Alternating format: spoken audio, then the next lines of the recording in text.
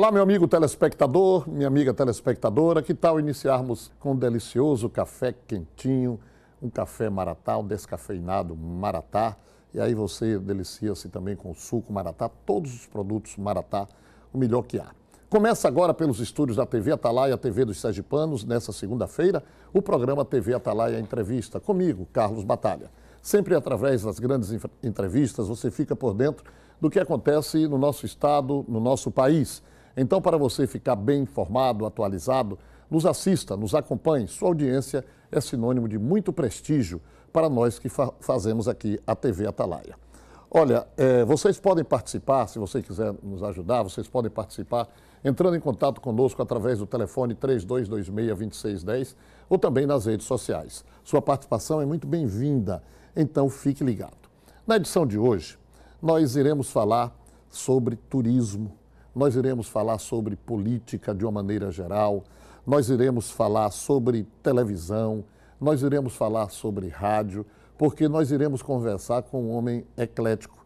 E é um homem que está diariamente com a gente aqui, é, logo após o TV Atalaia Entrevista.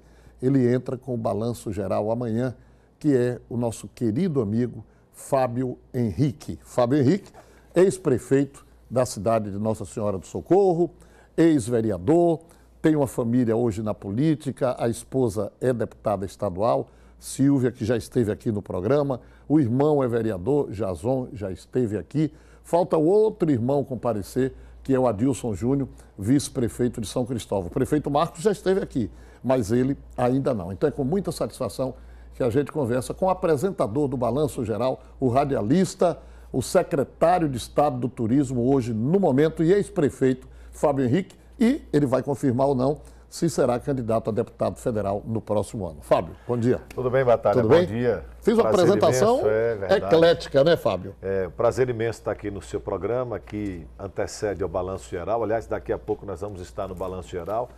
E é um prazer, uma alegria estar aqui para a gente conversar, bater um papo aí sobre, sobre o que você quiser. Fique Muito bom. Tá certo, assim que eu gosto. É. É, eu não sei se você.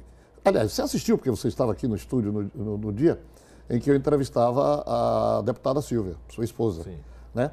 E eu, aí eu abordei um aspecto, me caiu na hora, me deu um estalo, que você, é, eu só me recordo, e até hoje só me recordo, de uma família que teve quatro membros é, ocupando mandatos, que foi a família da casa onde nós estamos, de doutor Augusto Franco, que em 82 ele se elegeu deputado federal, Albano Franco, doutor Albano Franco elegeu-se senador da República, doutor Walter Franco, que é o diretor-presidente da, da nossa querida emissora aqui, elegeu-se deputado estadual, e o saudoso Antônio Carlos Franco elegeu-se prefeito de Laranjeiras. Então, quando eu estava entrevistando a deputada, eu me lembrei disso. Eu digo, poxa, então eu, não, sinceramente, eu não me recordo assim de, de uma, uma sequência de quatro nomes de uma mesma família. Isso é, acima de tudo, um orgulho, né, Fábio?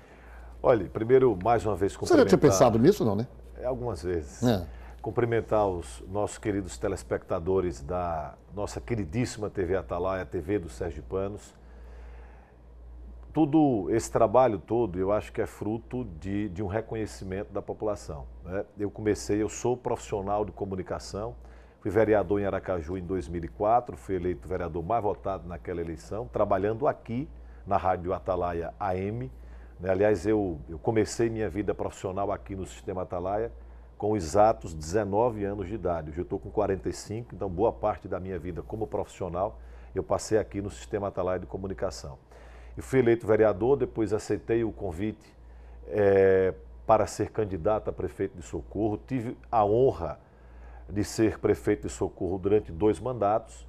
Silvia foi secretária da Assistência Social e aí nasceu a ideia da candidatura dela a deputada estadual em função do trabalho realizado em Nossa Senhora do Socorro.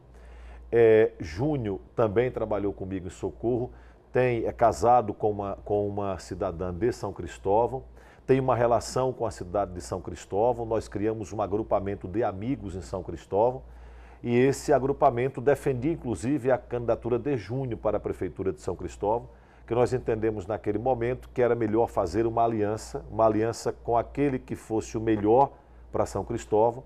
e nós fizemos uma aliança com Marcos Santana e Júnior virou vice-prefeito de São Cristóvão. Jason já é uma, uma, uma questão mais independente. Jason é como eu, profissional de comunicação, como nós, né, é radialista, e em função também do seu trabalho do rádio, ele decidiu ser candidato a vereador. Mas eu acho que todos nós, é, de família humilde, filhos de seu Adilson do Mercado, estamos na política é, para servir, para trabalhar, porque eu acho que é isso que a população quer. É que quem aqueles que estejam na vida pública estejam para trabalhar, para melhorar a vida da população. É, é, eu, quando entrevistei aqui o prefeito Marcos Santana, aliás, um gentleman, gente finíssima. Um homem muito preparado. Muito viu? preparado. Muito preparado. É, já fiz, inclusive, um programa ao vivo de lá. Ele teve a humildade aqui nesse programa de dizer o seguinte, que a vitória dele, ele deve ao, à aliança que foi feita com Júnior, porque senão Júnior deveria é, ter saído eleito daquele pleito. Então, ele reconheceu isso pela força. É, já o Jason também, é, embora você diga, sendo radialista e tal, como é, mas é claro que o seu peso político foi muito forte também, Fábio. Você está sendo muito humilde nessa questão aí. E isso o credencia para que no próximo ano é, você seja, por exemplo, candidato a deputado federal. Olha, eu, eu, eu há cerca de uns seis ou oito anos, mais ou menos, você elegeu-se prefeito em... 2008. 2008, pronto. Então, por aí, 2009, 2010, eu fiz um comentário é, na emissora em que trabalhava, na TV Cidade, onde eu disse o seguinte, anotem os quatro sucessores de João Alves, Valadares, Albano Franco e Jackson Barreto. Aí eu disse, Fábio Henrique ainda continua valendo. André Moura continua valendo. Rogério Carvalho passou por problemas aí tal, mas está tentando voltar. E o outro que todos pensaram que tinha morrido, chegou a ser preso e tal e tal e tal, mas recuperou-se hoje sendo, na realidade, não o prefeito, mas o braço direito da prefeita Silvani, que é o Suquita. Então, esses quatro jovens é, nomes, à época, oito anos atrás e tal, eu vaticinei.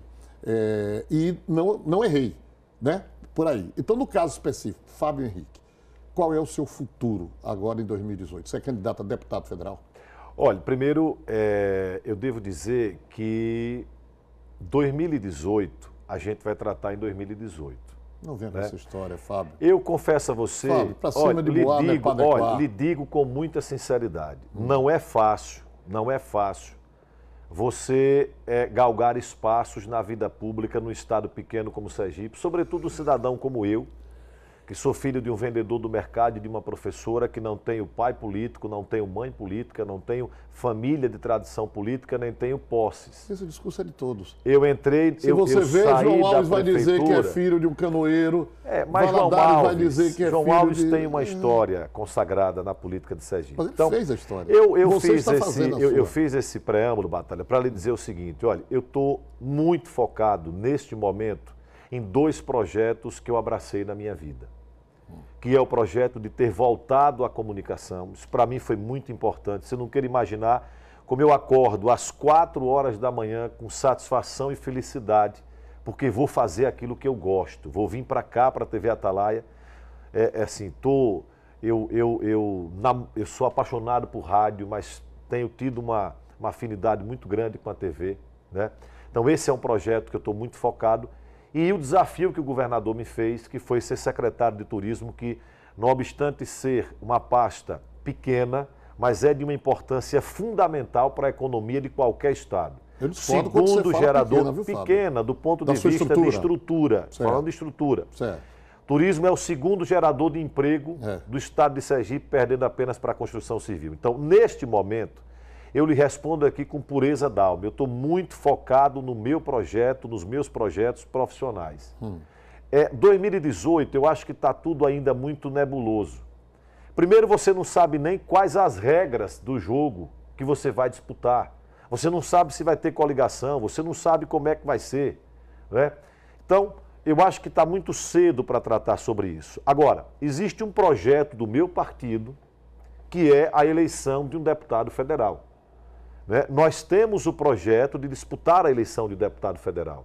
Estou lhe respondendo de forma objetiva. Agora, se você me pergunta, você já está em campanha para deputado federal? Não. Primeiro, porque a legislação não permite. Segundo, porque nesse momento o meu foco é o trabalho na televisão e o trabalho na Secretaria de Turismo. Agora, o projeto político do nosso partido é disputar uma vaga para deputado federal. Pode ser eu, mas pode ser qualquer um outro nome dos que estão ou daqueles que poderão vir para o partido.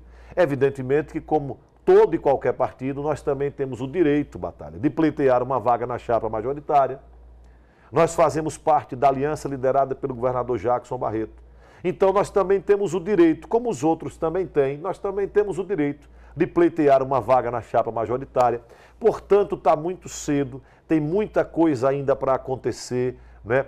A política do Brasil e, por via de consequência, dos estados, ela muda a cada dia. Então, nesse momento, o nosso foco é o trabalho na TV, o trabalho na Secretaria de Turismo. Em 2018, a gente vê o que, é que vai acontecer. O homem é, domina, né? É, é sagaz. Aí você diz. Não, estou falando a existe, verdade. existem outros nomes no partido. Quais os nomes? Diga aí. A deputada Silvia, por exemplo. Sim. A deputada Silvia faz... deputada federal. A deputada Silvia pode ser deputada federal. Certo. A deputada Silvia faz um bom mandato. Certo. Existe, o- existe o Então nome estaria do, tudo em do- casa. do próprio. Não. É, e existem outros nomes. Nós temos companheiros no interior do Estado. Hum. Sim. E nós temos pessoas com as quais. É porque hoje está tão difícil você conseguir trazer alguém para a política. É. Porque as pessoas não querem participar da política. Mas nós estamos conversando.